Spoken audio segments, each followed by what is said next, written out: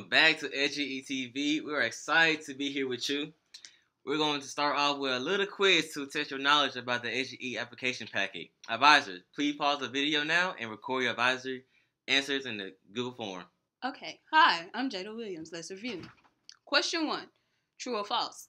The cover page of the application is the application worksheet. This sheet tells you when the application is due, the application website, and what is needed to complete the application. A true, B false. The correct answer is A true.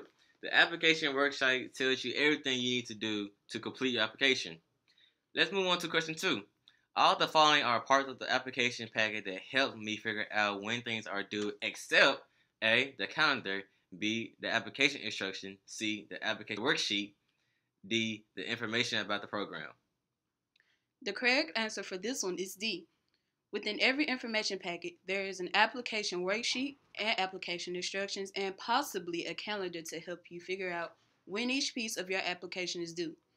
The program information simply tells you what the program is like.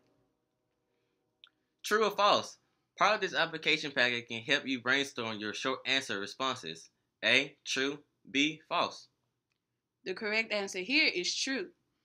There's an essay brainstorm sheet. Let's move on to question three. Question three. The person who would write my counselor recommendation is A. My advisor. B. Miss Ragland. C. Miss Robinson. D. Miss McCain.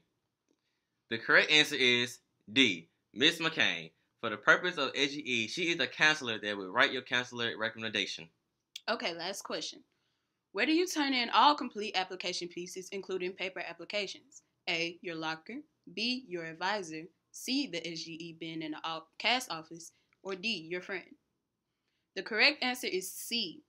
Make sure to turn in all paperwork with your name on it to the SGE bin in the CAS office, which is found on the second floor of the main building. After last week's episode, we got a lot of really great SGE questions from students. We wanted to give students the opportunity to ask those questions now so that we could answer them. In my application packet, there is a paper application, but I need to complete the actual application online. Should I write out the application before I start the online application? That's a great question. Remember, Jada and I are here to give you all the best insider tips of finding and actually being accepted to the best SGEs. We will advise you to write a draft of your application before typing it up. That's right. Not all applications will allow you to save your work as you go. So it is best to do a written draft of your application before you start typing it. That way, your advisor or Ms. McCain can look over it and proofread it before you type up the final version. Let's move on to another student. These applications are long and complicated. I don't mean to be rude, but sometimes I feel so overwhelmed, I don't even know where to start. That's a very understandable concern. Applying to SGE is a lot of work, and so the, per- the process can be very confusing. Always keep in mind that applying for SGEs is very similar to apply to post-secondary pathways and jobs.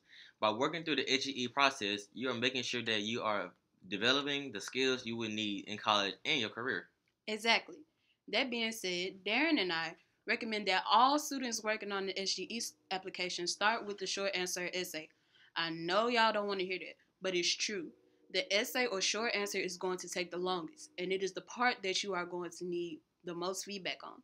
Please start on the essay question first. Also, please don't avoid applying for an SGE just because it has an essay requirement. I'm an 11th grader and I really want to ask my old teacher for a recommendation to the SGE I'm applying to, but it doesn't work here anymore. What do I do? Lucky for you, there are a lot of other teachers at Sova that can write your recommendation. If the teacher you want to write write your recommendation no longer works here, you can ask a different teacher, including any that you have this year. Let's move on to another question from a student. I really want to apply to a certain SGE, but there's a $50 fee for the program. I don't want to ask my family to pay $50 for an SGE. I am also worried that I may not have transportation to and from the SGE. What should I do? That's a great concern. You're applying to SGEs in February, and these programs don't start until June. Money and transportation are hard to figure out that far in advance. Jaden and I recommend that students apply to all programs that interest them. Once you have been accepted to the program, your advisor and Ms. McCain will work with you to make sure that there are no financial or transportation barriers to attend to, to attending SGE. Exactly. We will talk about this in later episodes too, but never hesitate to reach out to your advisor or Mrs. McCain about these issues. They will help you figure it out. I already have an SGE for this summer, but there are a lot of other programs I'm interested in. Can I apply to more SGEs? Are you kidding? Of course, you can and should apply to more than one SGE. The more SGEs you participate in, the more interesting summer you have. Participating in many SGEs means that you set yourself apart on college and job application too.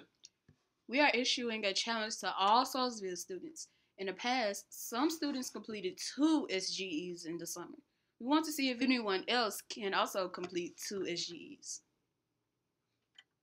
On that note, I bet you are all excited to hear what programs have application out now. Advisor, it is almost time to listen to the commercial for this week. But first, we want to thank all of the students for sharing their SGE questions with us.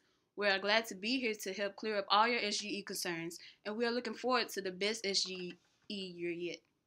Let's recap what we learned so far during SGE season 2020. 1. Two weeks ago, we reviewed the requirement for SGE to count and receive credit. 2. Today, we review the structure of each SGE application packet. Next week, we will start using our SGE calendar agenda. Don't worry about that.